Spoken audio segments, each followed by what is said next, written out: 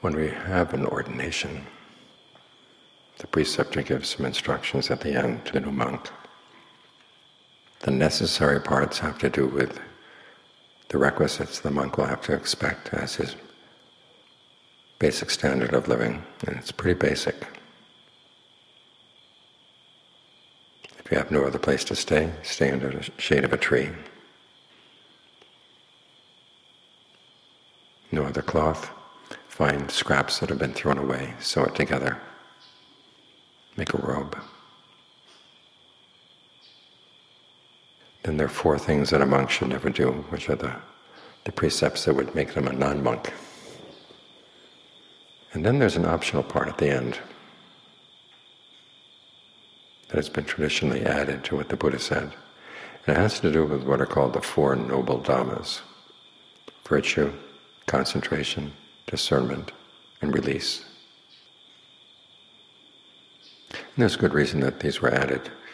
The sutta that describes the Buddha's last year talks about how wherever he went, that was the theme of his, what you might say, the theme of his final tour.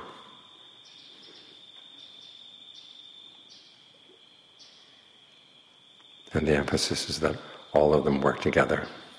We follow the precepts, not so that we'll be rewarded for being a good little boy or a good little girl, but it's because the precepts force us to look at our intentions as we go through the day.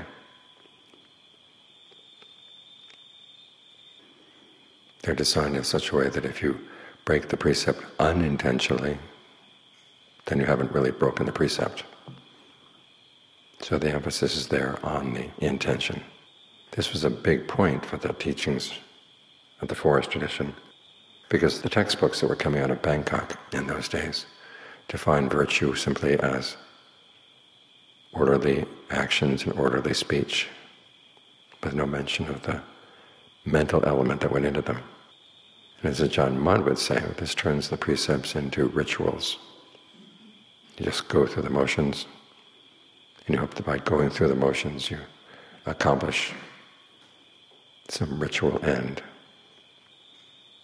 And he insisted that the element of intention was much more important. In fact, there was one time when he was asked which of the precepts he followed, because that was also an issue back in those days.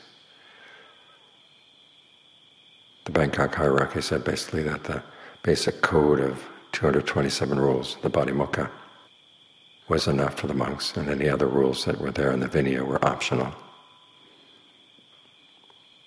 And as we know from the testimony of all those who went to study with Ajaan Mun, he did not regard the remaining rules as optional. They were an important part of the training.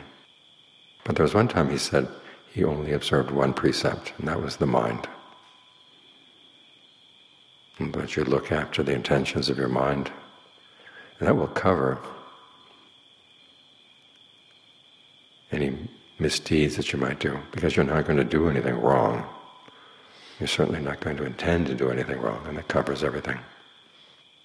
And the point there is that the precepts are not to make you worried about the details here and there, although you do observe them. But if you can get more and more control over your mind, then you know you've got them covered. That, of course, leads to concentration. These are called the precepts that are pleasing to the noble ones, conducive to concentration. For the very reason that they focus your attention on your mind. Because that's what you're going to be looking at as you meditate. You may be focused on the breath as the topic, but we're not here to get the breath, we're here to get the mind. And Ajaan Fuang had a nice analogy. He said it's like you're trying to catch eels. Your mind is slippery like an eel. And if you jump down into the mud, try to catch eels with your bare hands, they just go slithering off every which way. But if you find something they like, then they'll come. He said what eels really like are dead dogs. It's not a very pretty image. But you find a dead dog, stick it into a big clay jar, stick it under the water, and the eels will come. And then all you have to do is Put your hand over the mouth of the jar and you've got the eels. So you may not like thinking about the breath as a dead dog, but think of it as something the mind likes. This is one of the reasons why we focus on the sensation of breathing in the body, not so much the passage of air through the nose. Because the passage of air through the nose is not necessarily either pleasant or unpleasant, it's just there. Whereas the movement of the energy in the body can be very definitely pleasant or unpleasant. Unpleasant if you tighten things up, block things, so that you feel you can't breathe with your whole body. But you can make it pleasant by dissolving away those patterns of tension.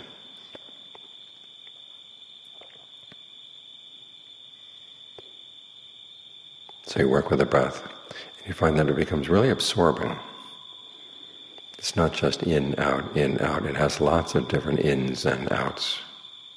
Long, short, heavy, light, deep, shallow, harsh, gentle.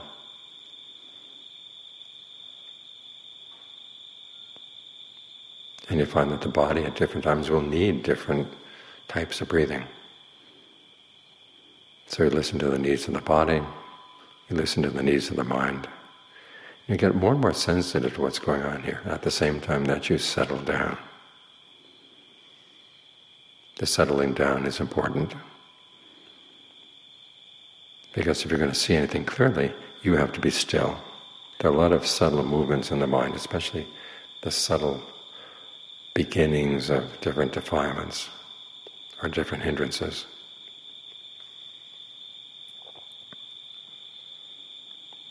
And you're not going to see them if you're making a lot of noise yourself.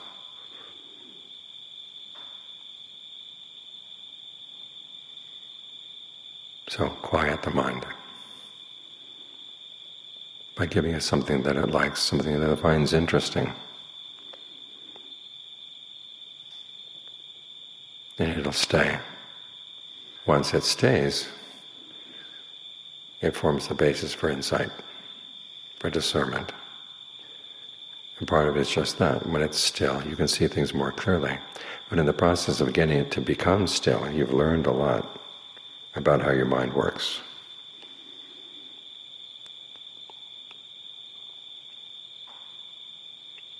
And in this way the concentration becomes conducive to discernment, particularly the kind of discernment that releases the mind. You can be discerning about all kinds of things.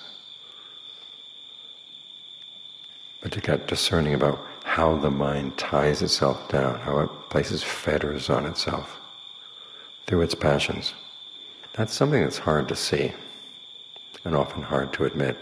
This is where, as I said the other day, we're training both the heart and the mind.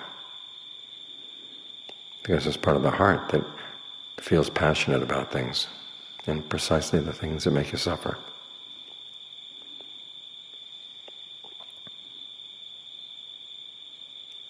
So you have to be willing to look at how you make yourself suffer. And admit that yes, there is part of you that likes that, but you're willing to admit the drawbacks. Now, you don't expect the heart will leap up. In fact, there's a passage where the, the Buddha talks about renunciation. Says that when he was a young monk and he realized that he was going to have to renounce his sensual thoughts, his heart didn't leap up at the idea. But the more he considered things, the more he realized that if he didn't get past sensuality, he'd never get free.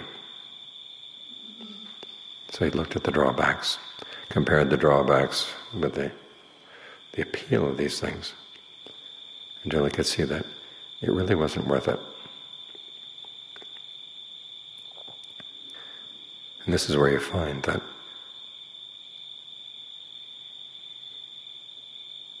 you've been the one that's been causing trouble all along. There's a strange passage in the canon where they talk about how the sounds are not the fetter of the eye. The eye is not the fetter of the sounds. And in the abstract, it sounds strange.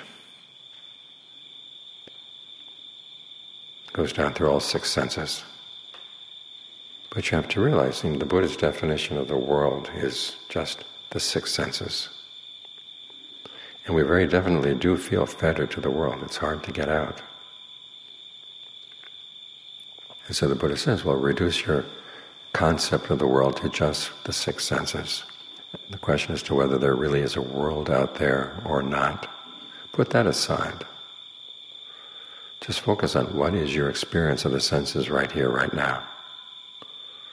The sound of the crickets, the sound of the Dharma talk, the temperature of the air,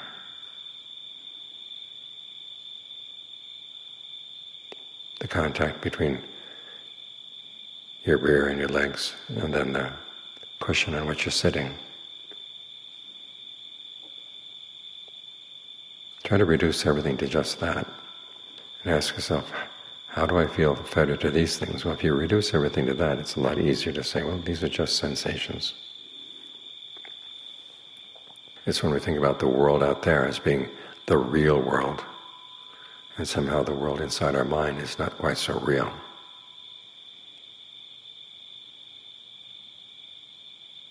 But then you can ask yourself, what kind of real world is it out there?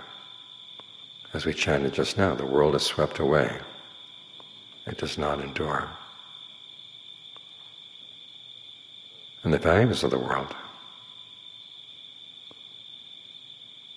We live in a world where greed, aversion, and delusion are rewarded.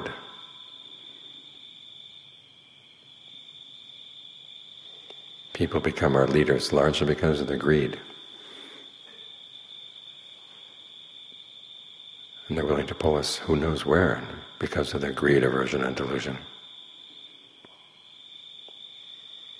And society at large depends on people's greed, their desires, their craving, all of which the Buddha says is going to make you suffer. Living totally in the world is bad for you. If you want to be safe, you have to at least step out a little bit That's what the Buddha has to offer, a way to step out. So first you reduce the world to just your experience of the senses and ask yourself, what is there that's really worth getting tied down to? And the more you see, these things just come, go, come, go, come, go. And they have no loyalty to you at all. You begin to question, well, why should I be loyal to them? In other words, why should I invest so much of my sense of their reality? When you can look at the world in that way, it gets a lot easier to let it go and to let go of the, the things that you're holding on to. And that's how the mind gets released. The image they use in the canon is a fire. The way physics of fire was understood in those days was that fire needed to cling to something in order to burn. And if it was going to go out, it had to let go. And then it would go to a state of coolness, stillness. Stop its agitation. And be totally unlocated. So the analogy is with the, with the mind. And that image of the eye and the sights not being the fetter. It's your passion in between that's fettered them. It's your holding on to these things. When you let go, that's when you're released.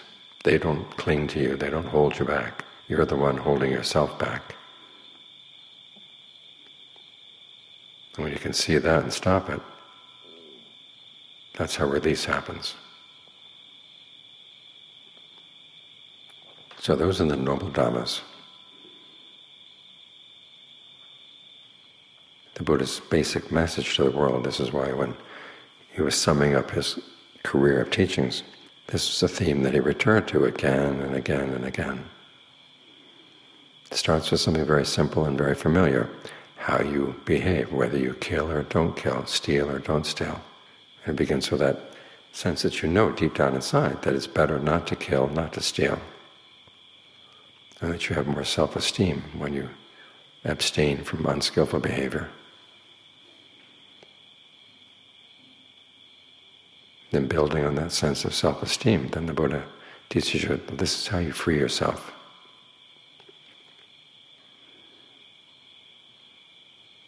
For some reason this evening I got several letters, all of which had to do with people's feelings about past bad karma they've done.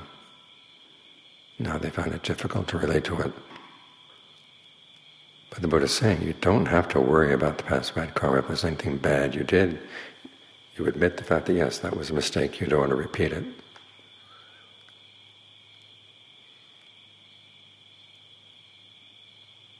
But that doesn't mean you're unworthy of the path. But the Buddha didn't save the path just for people who are already good.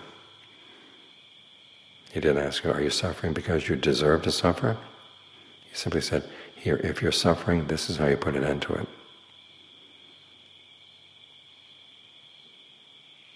The emphasis is on what you're doing right here, right now.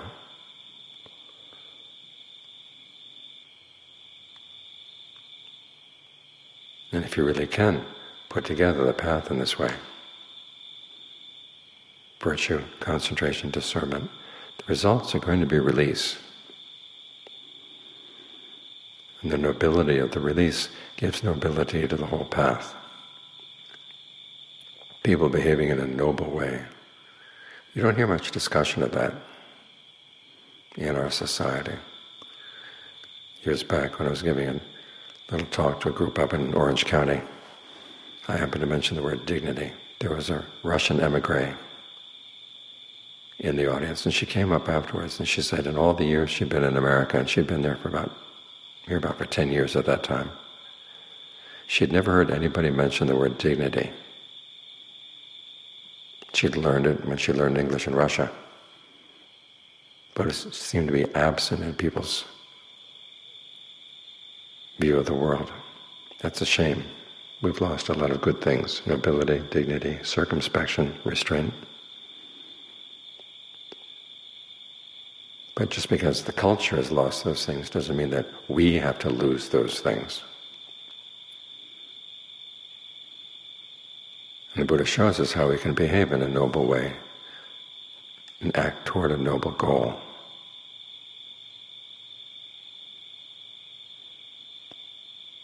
That was the message he wanted to make sure he left behind. So there it is for you to pick up and to use.